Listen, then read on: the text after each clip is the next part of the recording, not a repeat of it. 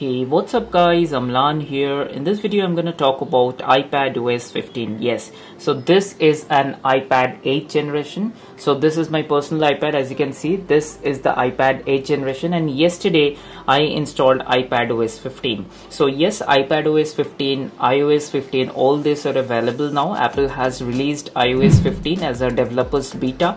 So you can go ahead and download the developer beta profile. In this video I'm going to talk about iPad OS 15 and what are the new features and how you can install if you have an iPhone, iPad. I'm gonna talk about that and also gonna talk about some of the new changes that you can get to see with this iPad OS 15. So this video is going to be a little bit long but rather I would say interesting. So before starting the video I would like to show you when I installed the developers beta profile. So I got the update it was around 4.62 GB as you can see. So it came in at about 4.62 GB on my iPad 8 generation. So the size might be different depending on which device you have. So in this video I'm going to talk about how you can first install iPad OS 15 if you are having an iPad and if your iPad supports iOS or iPad OS 14 then definitely you would be able to get iPad OS 15 update. So in this video I'm going to talk about changes and what new is there with iPad OS 15 this video might be a little long but I would request you to watch this video till the end and also if you're new here do consider giving this video a like and also it would mean a lot if you do subscribe to the channel because it gives me a lot of motivation to make more of this kind of videos. With that being said let's get right into the video.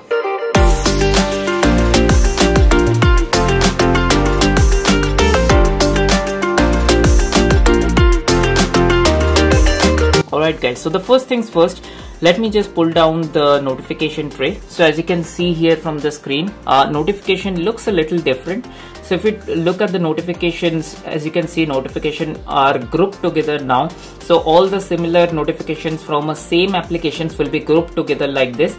And if you also you know uh, have a close look at the notification now the icon looks a little bigger. Let me just show you so as you can see the icon looks a little bigger and the notification looks a little bit different from iPad OS 14 so that was all the notification center. Now let's talk about the control center. If I pull down the control center from the top right as you can see uh, instead of DND which was do not disturb on iOS or iPad OS 14 now it has changed to focus. You know it it's uh, sorts of relate to the same thing but it has a different functionality. Let me explain you. So as you can see once you click on this focus you can choose do not disturb you can choose personal or you can choose work or you can create new focus so as you can see.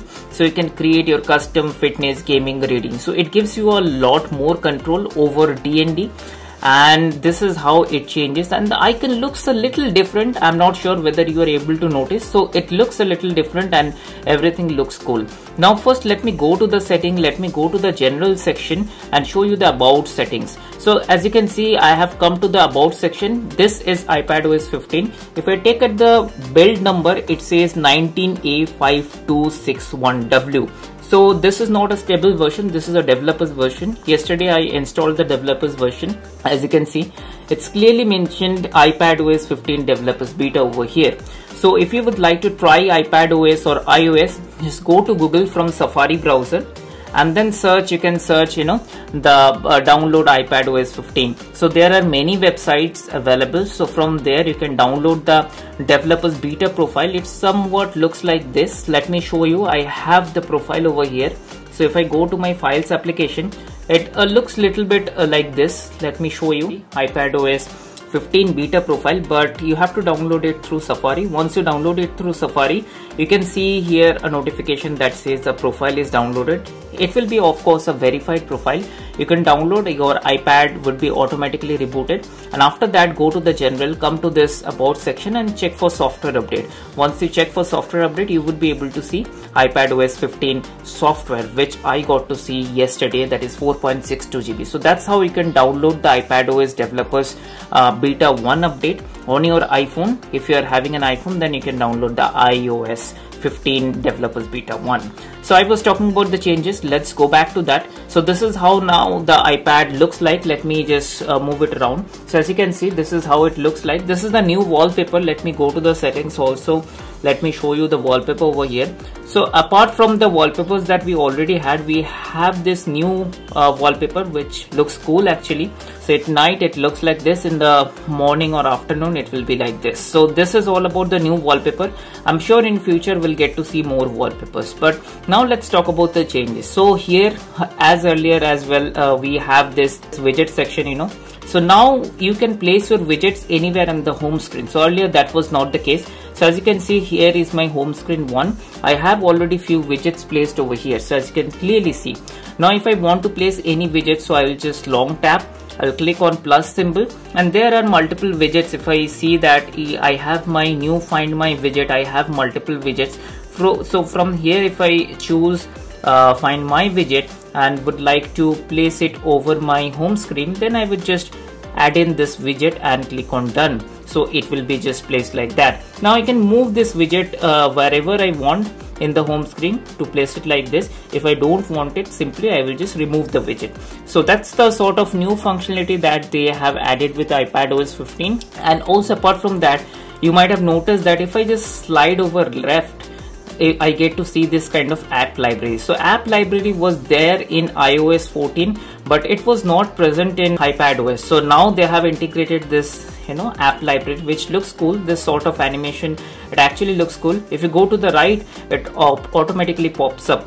So it actually gives you a better organization of all the app categorized. So that's a nice touch. Apart from there there are many changes here and there. So if i take a look at the notes application there is a you know important change to this keyboard. If i you know hover my cursor to all this text you can see there is a magnifying glass that actually pops up helps me to select which word I'm selecting. It actually helps with the selection very much. So that was one of the change. And talking about uh, new application so I can see this magnifying uh, you know application is there uh, default by default with this iPad OS so that's something new which I noticed. Apart from that there is this new translate application that you know comes with iPad OS and if I talk about settings let me go back to the settings. I wanted to show you something. So if I go to this battery now iPad OS like iOS gets a low power mode. So if I come to this battery section as you can see this is how the screen graph and this is how the uh, you know a battery management section looks like but it has not yet got a battery health section like iOS has but it has a dedicated low power mode. So whenever I want I can turn on the low power mode and turn off the low power mode like uh, it has in iOS so that's a nice touch. In terms of settings if you look closely here let me just move my iPad. So the settings layout has a little bit changed so as you can see this all this uh, categorized section has been you know changed a little bit. So if you look closely between iPadOS 14 and iPadOS 15 it looks a little different but not too much. But nevertheless any change is welcome. So then again uh, this was a quick video. I just wanted to show you how you can download iPadOS 15 if you have any device that supports iOS 14 that will still support iOS 15 and iPadOS 15 as that matter so in this video I wanted to show you some of the quick changes and the you know differences between iOS 14 and iOS 15 so if you like this video give this video a thumbs up. Let me know in the comment section would you like to see more videos on this iPad OS 15 whenever the future update comes out? Because now I started using iPad OS 15 uh, as a developer's profile on my iPad. I plan to you know show you all the update future update that I get with my you know iPadOS 15 so in my iPhone I am using actually iOS 14 so iOS 15 will roll out for public in the month of September or October with the new iPhones so that's expected. But in iPad this is not my primary device so I thought of installing iPad iPadOS 15 and I thought of sharing it with you guys how this iPad iPadOS 15 looks like.